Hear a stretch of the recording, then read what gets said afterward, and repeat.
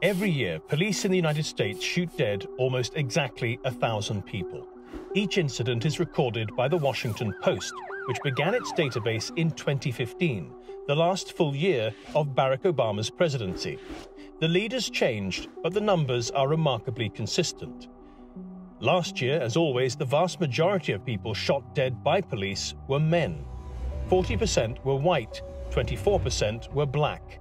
A statistic jumped on by conservative commentators. More white suspects were killed.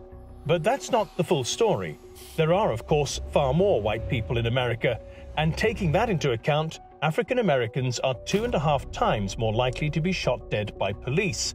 But Candace Owens disputes even this. It doesn't matter what percentage of the population you represent, it matters what percentage of the violent criminal community you represent. And unfortunately, black community create uh, um, commits a disproportionate amount of crimes compared to the white community.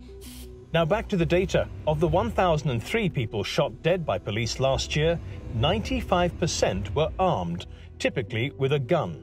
Just 5%, 55 people, were unarmed. Nearly half, 25, were white. 14 were black. To be clear then, a total of 14 unarmed black people were shot dead by police last year. In most cases, officers were not charged because the suspect was either trying to flee or attack them.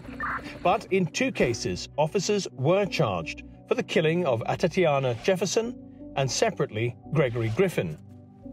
Conservative commentators say the data show police may not be perfect, but they're far from systemically racist.